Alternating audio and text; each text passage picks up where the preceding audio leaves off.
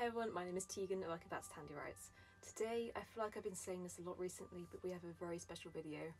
I have some final copies of my special edition Paper Forests and I have some pre-order goodies to show off. So I would like to present those to you today. And I showed off the book a little in the long video I did about the bookmaking process, but I thought, you know, we'll do it here now that I do have final copies with little corrections made, just so we have like a condensed version to show off to people and pre-order goodies. Let's start with paperbacks.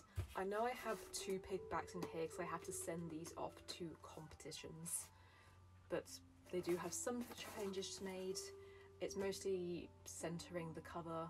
I think I might have made a change to the inside, but we will see if I remember if I can work out how to get into this.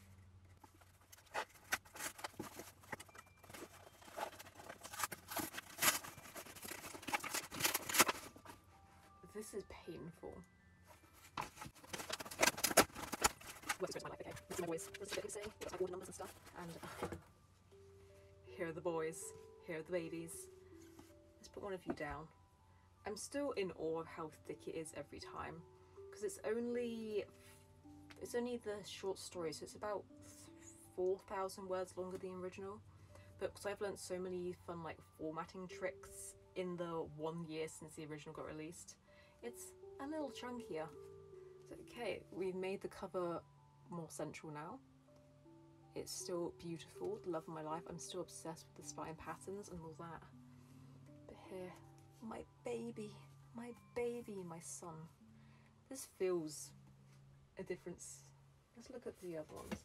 I have my other copies up here, which I'm keeping as my personal copies, but they have, they look different. There's things that are not quite right. So yeah, you can tell here that on the new one on the top, the spine is straightened up a bit. So to show off again, on the inside, we have a cyanotype that I made, just had a little something something on the inside cover. So I'm always envious of books with end papers, and I, I can't do that with the self-publishing resources I have available, at least not for other people to do. I can do it like by myself in my room, but I don't have the resources to make that available to everyone.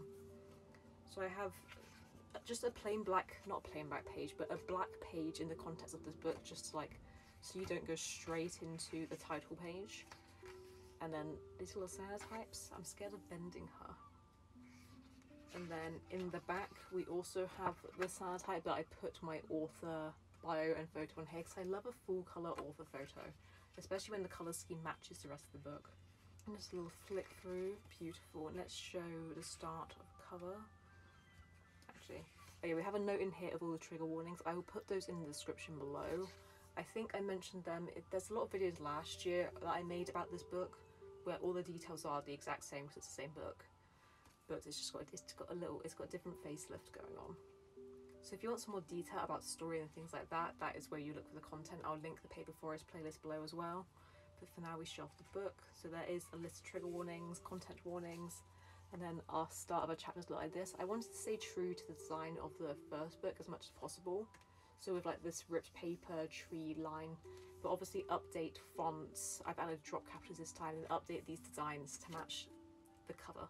And I am still so obsessed with this. I to that point where I don't care how well I do in these competitions. Obviously I'd love I'd love to be finalists, shortlisted, to be in a position where I get quotes from these places about my book. But like I'm just so proud of this, like this is enough for me. I don't need anything else. I did this myself. And now let's see if the hardcover is as painful to open as well.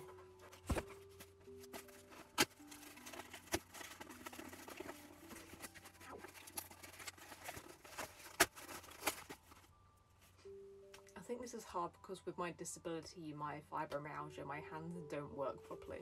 So when the covers don't come with like that little strip that you can like pull down and open up, this is a nightmare. How am I supposed to do this with my hands that don't work?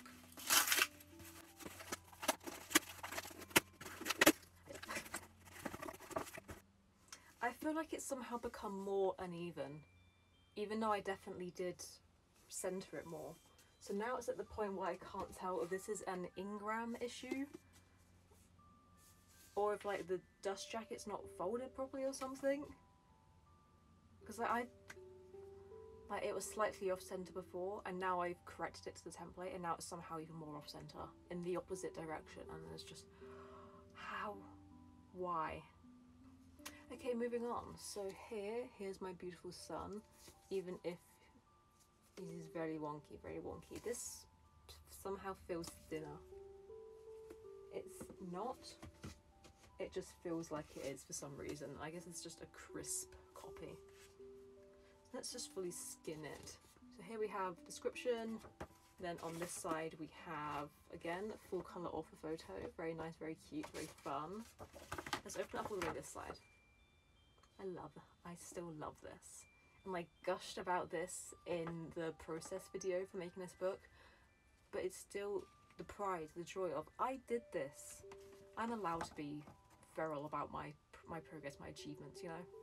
And the change that I made between this now version and the other one, other than somehow making the cover worse, is that I removed all the text that was on this, like beneath the jacket, the case laminate, I believe they like to call it.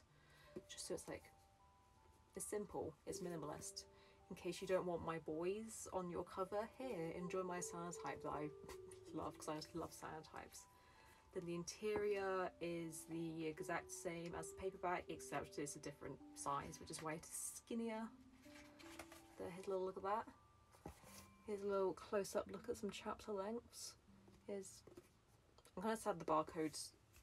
First of all, why are they including the barcode under the dust jacket? And on the jackets, I put a little yellow box around it because that's kind of my my branding now for these books and my books and my Little Oaks independent books which is the name of my my little company that I've got going on. So that that is not good branding. But here, here's my beauty. Here's my son. This copy, I think this one doesn't have to go anywhere. I just got a proof copy to see if I've somehow fixed yet made worse my cover issue.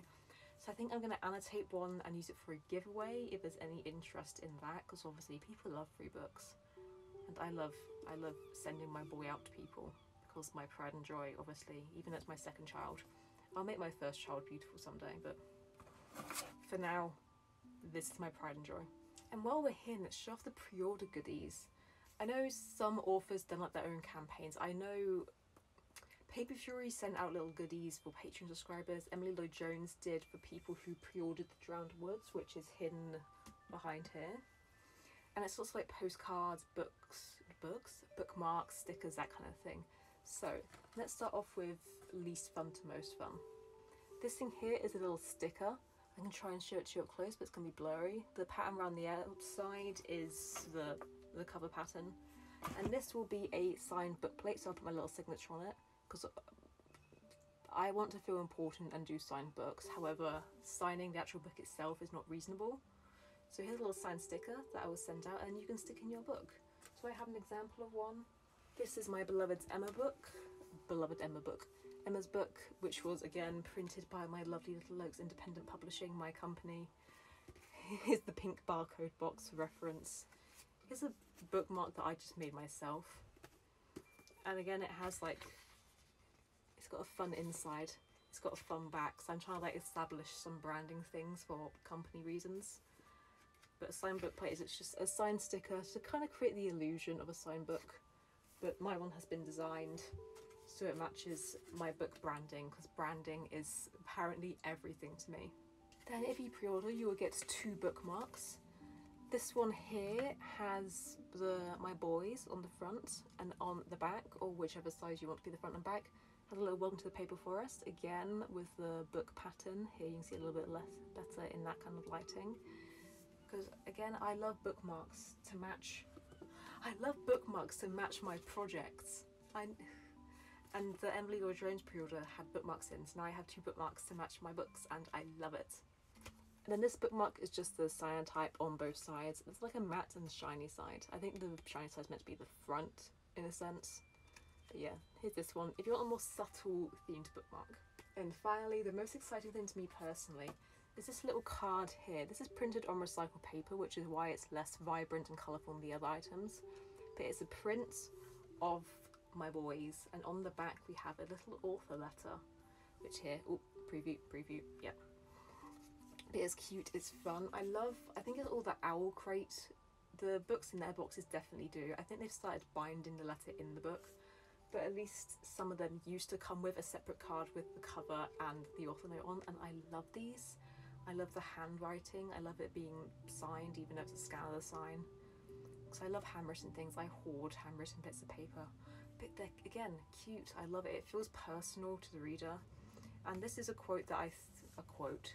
This is like a little letter, something that I have spoken on social media before. But again, who knows what people have seen, who knows what they haven't. So here, here's it again in handwritten form because this book is my heart. So here, have a letter from me. So there, here are my final copies. This, I have no idea how to fix this issue at this point, so we're going to think about it for a little longer.